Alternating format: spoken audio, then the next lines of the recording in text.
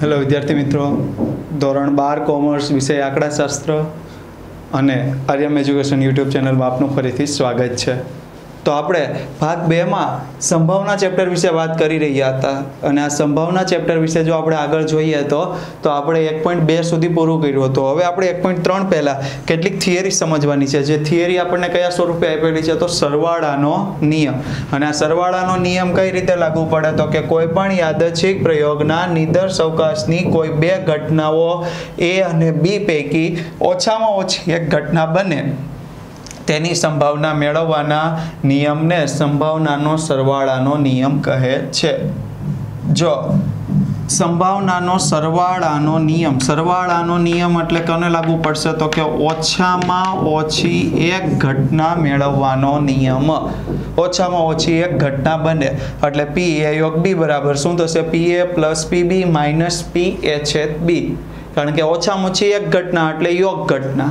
ઓછામાં ઓછી એક આપણે જોયું હતું, ઘટના એ બને અથવા ઘટના બી બને અથવા ઘટના એ બી બંને બને. તો ઓછામાં ઓછી યોગ એક ઘટના એટલે યોગ ઘટના. તો પી એ યોગ બી બરાબર. P A plus P B minus P એ છે બી અને જો ત્રણ ઘટના હોય એ બી અને સી ત્રણ ઘટના હોય તો પી એ યોગ બી યોગ સી બરાબર. P A plus P B plus P C minus P A છેદ બી માઇનસ પી બી છેદ સી માઇનસ પી એ છેદ સી.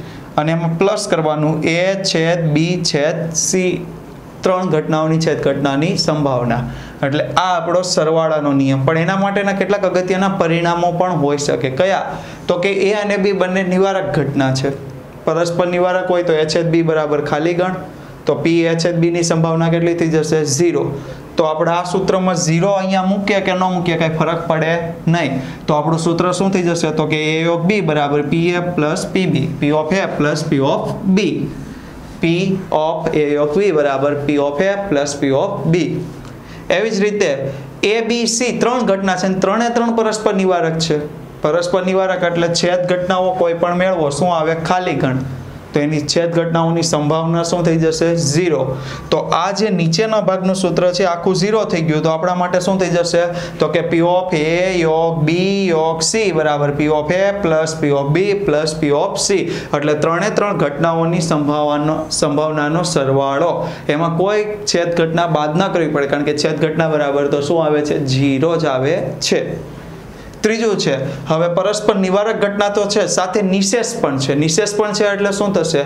તો કે બે ઘટના પરસ્પર નિવારક હોય તો એની સંભાવના ઝીરો, પરંતુ નિશેષ હોય તો એની યોગ ઘટનાની સંભાવના કેવી થઈ જશે? એક. છેદ ઘટનાની સંભાવના ઝીરો અને યોગ ઘટનાની સંભાવના એક. તો પી ઓફ એ યોગ બી બરાબર શું થઈ જશે? P of A plus P of B બરાબર કેટલા થઈ જશે? એક. એટલે પી ઓફ એ અને પી ઓફ બી નો સરવાળો કેટલો થઈ જશે? એક. એકથી ઓછો રહેશે નહીં.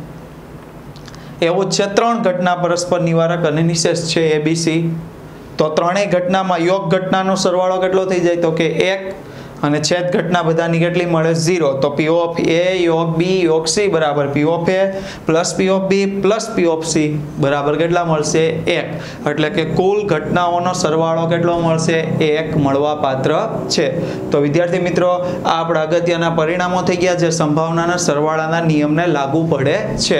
ફરીથી એક વખત સરવાળાનો નિયમ, તો કે એ ઓફ બી બરાબર P of A plus P of B minus P of A છેદ બી પણ ત્રણ ઘટના હોય તો પી ઓફ એ યોગ બી યોગ સી બરાબર. P of A plus P of B plus P of C minus P A યોગ બી માઇનસ પી ઓફ બી બી છેદ સી માઇનસ પી એ છેદ C plus P of A છેદ બી છેદ સી એટલે પહેલાં એ બીની છેદ ઘટના પછી બી સીની છેદ ઘટના પછી એ સીની છેદ ઘટના એને માઇનસ કરવાની. જ્યારે એ છેદ બી છેદ સીની છેદ ઘટનાને શું કરવાની? પ્લસ કરવાની. તો વિદ્યાર્થી મિત્રો, આગળ આપણે દાખલાઓ સ્વાધ્યાય એક પોઈન્ટ ત્રણના જોઈશું આવતા વીડિયો ભાગમાં. ત્યાં સુધી અમારી યુટ્યુબ ચેનલ આર્યમ એજ્યુકેશન પર આવતા અવનવા વીડિયો જોતા રહો અને આગળ નવું શીખતા રહો. Thank you